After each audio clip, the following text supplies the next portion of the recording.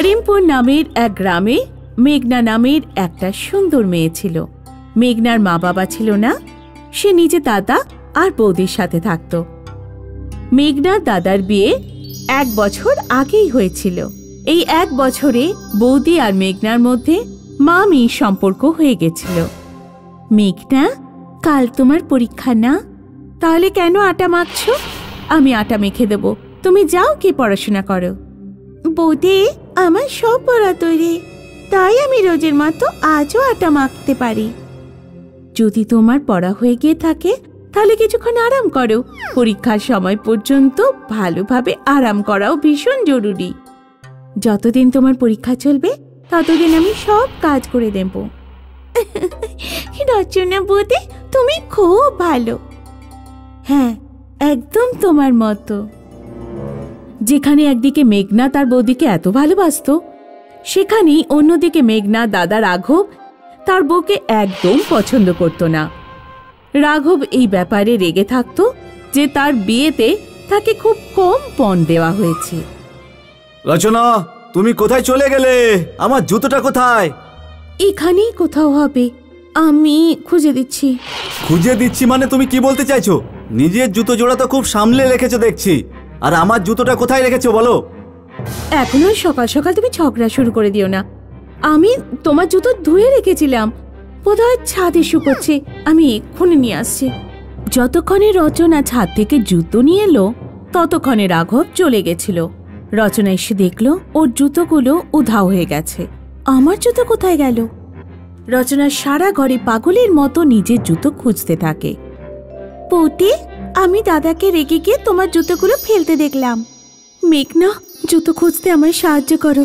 ওগুলো সাধারণ জুতো নয়, ওগুলো আমার জন্য ভীষণ স্পেশাল রচনা আর মেঘনা সন্ধে অবধি জুতো খুঁজতে লাগল, কিন্তু ওরা খুঁজে পেল না। সন্ধেবেলা যখন রাঘব ঘরে ফিরল, তখন ওর সাথে একজন মহিলা ছিল। এ হলো আমার নতুন বউ। আর মেঘনা এই হলো তোমার নতুন বৌদি। রচনা, আমি তোমাকে ডিভোর্স দিতে চাই। এই নাও। ডিভোর্সের কাগজপত্র। এটার উপর সাইন করো আর এখান থেকে বেরিয়ে যাও। রচনাকে নিজের বাড়ি ছাড়তে এলো। মেঘনা নতুন বৌদি নিজের সাথে প্রচুর ধন সম্পত্তি এনেছিল। কিন্তু তার কাছে ভালোবাসার ধন একদম ছিল না। নতুন বৌদি সব খাবার নিজে খেয়ে নিত, নয়তো নিজের স্বামীকে খাইয়ে দিত, আর মেঘনার জন্য কিচ্ছু রাখত না। মেঘনা সারাদিন পড়াশোনা করে ক্লান্ত হয়ে যেত। ওর পক্ষে রান্না করাও সম্ভব হতো না। ও নয়তো পড়ে থাকা খাবার খুঁজত, আর নয়তো বা না খেয়ে শুয়ে পড়ত। একদিন মেঘনার উঠতে একটু দেরি হয়ে গেল। সেদিন ওর পরীক্ষা ছিল। মেঘনা তাড়াতাড়ি করে তৈরি হলো, কিন্তু নিজের জুতো জোড়া খুঁজে পাচ্ছিল না। আমার জুতো কোথায় গেল? বৌদি, এক মিনিট দরজা খোলো। আমার জুতো বোধহয় ঘরের মধ্যে রয়েছে। মেঘনা চেঁচাতেই থাকল, কিন্তু বৌদি ঘরের দরজা খুলল না। ভগবান, এখন আমি কি করব? পরীক্ষা শুরু হতে মাত্র পাঁচ মিনিট বাকি। মেঘনা খালি পায়ে স্কুলের দিকে দৌড়ে গেল। রাস্তায় এক জায়গায় পিচ পড়েছিল। ওখানে কিছু ভাঙা ইট পড়েছিল। মেঘনা ওই ইটের উপর দিয়েই দৌড়ে গেল। ওর পা কেটে গিয়ে একাকার হয়ে গেল। রক্ত মাখা পা নিয়ে মেঘনা পনেরো মিনিট পরে ক্লাসে পৌঁছলো, কিন্তু সে কোনোভাবে নিজের পরীক্ষা দিয়ে দিল। ফেরার সময় ওর স্কুলের এক টিচার ওকে সাইকেলে করে বাড়ি পৌঁছে দিয়ে গেল। মেঘনা নিজের পায়ের দিকে তাকিয়ে কাঁদছিল। রচনা বৌদি, তুমি আমায় ছেড়ে কোথায় চলে গেলে? আমি তোমাকে ছাড়া একদম অনাথ হয়ে গেছি। তখনই মেঘনার মাথার উপর দেওয়াল থেকে একটা জুতো এসে পড়ল। আরে, এটা তো রচনা বৌদির জুতো। ও তো এটা অনেক খুঁজেছিল। মেঘনা খুঁজে খুঁজে আর একটা জুতো বের করল। মেঘনা জুতো পরে দেখল, কেটে যাওয়ার জন্য ওর পায়ে খুব ব্যথা হচ্ছিল। কিন্তু যে কোনো উপায় ও নিজের পায়ে জুতোগুলো ঢোকালো। জুতো পরার পরেই মেঘনা বুঝলো যে ওর পায়ে কোনো চোটই লাগেনি। মেঘনা জুতো খুলে দেখল, ওর পা পুরোপুরি ঠিক হয়ে গেছে। মেঘনা নতুন বৌদি সব কিছু দেখে নিল। আচ্ছা তো কোথা থেকে জাদুর জুতোর জোগাড় করেছে? কোনো ব্যাপার না, এগুলো আমি ভেঙে টুকরো করে ফেলব। মেঘনা যখন স্নান করতে গেল, তখন ওর বৌদি ওর ঘরে গেল। ও, এই জুতো দুটো তো খুব সুন্দর। ভেঙে ফেলার আগে একবার জুতোগুলো পরে দেখে নিই। বৌদি যেই না জুতো পরল, ওর পা কেটে ছড়ে রক্ত পড়ে গেল। আর এটা কি হলো? মরে গেলাম রে, মরে গেলাম। কেউ তো সাহায্য করো।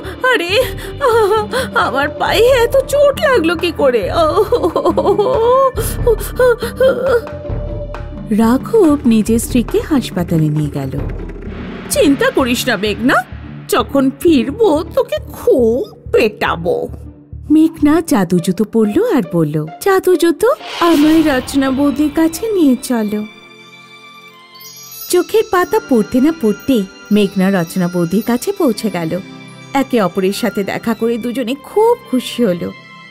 মেঘনা রচনাকে বাড়ির পরিস্থিতি আর জাদু জুতো সম্পর্কে সব কথা জানালো।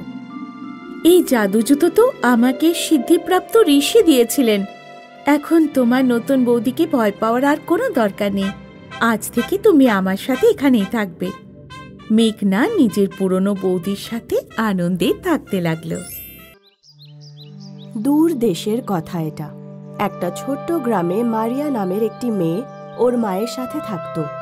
মারিয়ার মা গ্রামের এক ধনী পরিবারে কাজ করত। জুলি, আজ কেমন খাবার বানিয়েছিস? এতে তো নুনই নেই। ক্ষমা করে দিন দিদি। হয়তো সবজিতে নুন দিতে ভুলে গেছি। বয়সের কারণে আমার মাথায় কাজ করে না। কিছু মনে থাকে না। আন্টি আজ তুমি আমাকে বেডে কফিও দিতে ভুলে গেছো। মা ওকে কাজ থেকে বের করে দাও। না না দিদি এরকম করবেন না। না হলে আমি আর আমার মেয়ে না খেতে পেয়ে মরে যাব। আমি যখন অল্প বয়স ছিল তখন থেকে আপনার এখানে কাজ করছি। কিন্তু এভাবে কাজ করলে আমি তোমাকে এখানে রাখতে পারব না। আমি শুনেছি তোমার একটা মেয়ে আছে, কাল থেকে তোমার বদলে ওকে কাজে পাঠিও। ঠিক আছে, দিদি। পরের দিন মারিয়া কাজ করতে যায়। দিদি মারিয়ার সৌন্দর্য দেখে হতবাক হয়ে যায়। একজন গরিব কাজের লোকের মেয়ে এত সুন্দর। এত কাজ করাবো ওকে দিয়ে যে ওর পুরো সুন্দরতা ঘুঁচে যাবে। মালকিন মারিয়াকে সকাল ছটায় কাজে আসতে বলতো আর রাত এগারোটা পর্যন্ত ওকে দিয়ে কাজ করাতো। মারিয়া খুব তাড়াতাড়ি কাজ করত আর মালকিনকে কোনো কিছু বলার সুযোগ দিত না। কিন্তু কিছুদিন পর মারিয়ার মা খুবই অসুস্থ হয়ে পড়ল।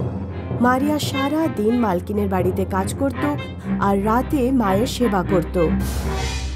রাতে কখনো ওর মাকে ওষুধ খাওয়াতো, কখনো মায়ের মাথায় জলপট্টি দিত। মারিয়ার খাওয়ার প্রতি কোনো ধ্যানই ছিল না, আর ওর ঘুমও পুরোপুরিভাবে হতো না। সেই জন্য কয়েক মাসেই ওর চেহারা খারাপ হতে শুরু করল, আর ওর চোখের তলায় কালি পড়ে গেল।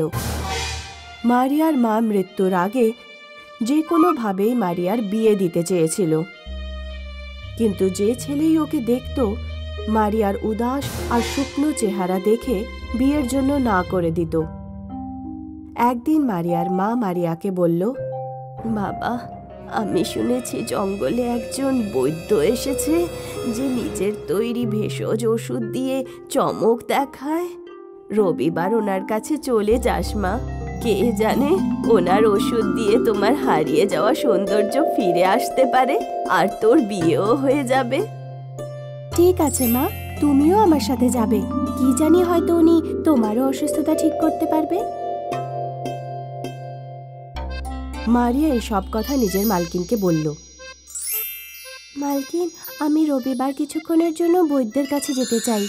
একদম না। অ্যালফ্রেডের এক্সাম চলছে। ও সারা রাত পড়াশোনা করবে। ওর কিছু প্রয়োজন হলে কার কাছে চাইবে ও? সামনের পনেরো দিন অবধি তুমি কোথাও যাবে না বুঝলে? মারিয়া খুব মুশকিলে পড়ে গেল। রবিবারের দিন ও বারবার গেটের দিকে দেখছিল। কিন্তু বাইরে বেরোনোর ওর সাহস হচ্ছিল না। ভাবতে ভাবতে রাত হয়ে গেল। রাত এগারোটায় যখন মালকিন শুয়ে পড়ল, তখন মারিয়া ভাবল, রান্নাঘরের জানালা দিয়ে লাফিয়ে চলে যাওয়া উচিত। আমি এক ঘণ্টার মধ্যে ওষুধ নিয়ে ফিরে আসব। মালকিন কিছু জানতেই পারবে না। মারিয়া জানালা দিয়ে লাফিয়ে যায় আর সবার আগে নিজের বাড়ি যায়। ও দেখে ওর মায়ের অবস্থা খুবই খারাপ ছিল। ওঠো মা, তোমার কি হয়েছে? মারিয়ার মায়ের শুধু নিঃশ্বাস চলছিল। মারিয়া তার মাকে কাঁধে করে নিয়ে বৈদ্যকে খুঁজতে জঙ্গলে চলে যায়। ওখানেও একজন মহিলার সাথে দেখা হয়।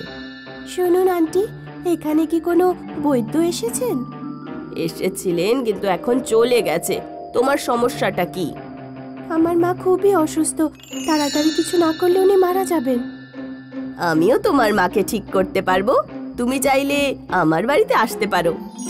মারিয়ার কাছে ওই মহিলার সাথে যাওয়া ছাড়া আর কোনো পথ ছিল না। ওই মহিলা একজন জাদুকর ছিল, যে কালো জাদু করত। এই দুনিয়ায় ফ্রিতে কিছুই পাওয়া যায় না। আমি তোমার মাকে সুস্থ করে দেব, কিন্তু একটা বোঝাপড়ায় সই করতে হবে। মারিয়া কাগজটা না পড়েই ওতে সই করে দেয়। এখন দয়া করে আমার মাকে ঠিক করে দাও। জাদুকরি মারিয়ার মায়ের মাথায় হাত রাখে আর মারিয়ার মা একদম সুস্থ হয়ে ওঠে। তোমার অনেক অনেক ধন্যবাদ। তুমি কি আমার চেহারার আবার আগের মতো করতে পারো? না ওটা কাগজে লেখা ছিল না। কাগজ অনুযায়ী তোমাকে আমার একটা কাজ করতে হবে। কি রকম কাজ? জাদুকরি মারিয়াকে একটা জাদুই কাজল দেয়। এই কাজল তোমাকে এগারো জন স্ত্রীকে লাগিয়ে দিতে হবে। এই কাজল লাগাতেই এগারো জন স্ত্রী অন্ধ হয়ে যাবে। তোমাকে ওদের চোখ বের করে আমার কাছে নিয়ে আসতে হবে। আমি ওই চোখগুলো আমার দেবতার চরণে অর্পণ করব। তারপর উনি আমাকে সবচেয়ে শক্তিশালী জাদুগরি করে দেবেন। আর যদি তুমি এরকম না করো, তাহলে তোমার মা আবার আগের অবস্থায় ফিরে যাবে আর তুমি অন্ধ হয়ে যাবে। ফেসে গেলে তো ওই কাগজে সই করে। পনেরো দিনের মধ্যে আমার এই কাজটা হয়ে যাওয়া উচিত। এখন যাও এখান থেকে। মারিয়া নিজের মাকে বাড়িতে পৌঁছে দেয়। মালকিনের বাড়ি ফিরে এলো তারপর। হে ভগবান, এটা আমি কেমন সমস্যায় পড়ে গেলাম? মারিয়া যখনই মালকিনের আর ওর মেয়েকে শুতে দেখত, তখনও তখন ওর কাছে থাকা কাজলটা ওই জাদুঘরের কথা মনে করিয়ে দিত। মারিয়ার মন বলতো, দুজন মহিলা এখানেই আছে। না আমি এরকম করব না। আমি কাউকে অন্ধ বানাবো না। কিন্তু আমি যদি এরকম না করি, তাহলে আমি অন্ধ হয়ে যাব আর আমার মা আবার অসুস্থ হয়ে যাবে। আমি বুঝতে পারছি না আমি কি করব। এইভাবে ভাবতে ভাবতে চোদ্দ দিন পার হয়ে গেল। মারিয়া একজন স্ত্রীকেও জাদুই কাজল লাগায়নি। মারিয়ার মায়ের অবস্থা আবার খারাপ হতে লাগল। হে ভগবান, এবার আমি কি করব? মারিয়া ওর মাকে নিয়ে ঘরের বাইরে গেল। আর জোরে জোরে কাঁদতে লাগল। কেউ আমার সাহায্য করো আমার মা মরে যাচ্ছে আমি অন্ধ হয়ে যাচ্ছি কেউ আমাকে সাহায্য করো। একজন যুবক রাস্তা দিয়ে যাচ্ছিল। কেউ আমাকে সাহায্য করো। তোমার সমস্যাটা কি? মারিয়া ওই ছেলেটাকে সব কথা বলে। যে কেমন করে ও বৈদ্যকে খুঁজতে গেছিল আর কীভাবে কালো জাদু করা জাদুগরির কবলে ফেসে গেল। তুমি যে বৈদ্যকে খুঁজতে গিয়েছিলে সেটা আমি আর চিন্তার কোনো কারণ নেই। আমি তন্ত্রবিদ্যাও জানি। ও জাদুগরির কালো জাদু নষ্ট করে দেয় আর জাদু কাজলটাও নষ্ট করে দেয়। তারপর মারিয়ার মাকেও ও ভালো করে দেয়। তুমি কি আমাকেও ঠিক করে দিতে পারবে? আমার চেহারার অবস্থা খুবই খারাপ। তোমার কোনো ওষুধের প্রয়োজন নেই। তোমার বিশ্রামের প্রয়োজন। তুমি কি আমাকে বিয়ে করবে? মারিয়া মালকিনের কাজ ছেড়ে দেয় আর বৈদ্যকে বিয়ে করে নেয়। কিছুদিনের মধ্যেই ও আবার আগের মতো সুন্দর হয়ে ওঠে।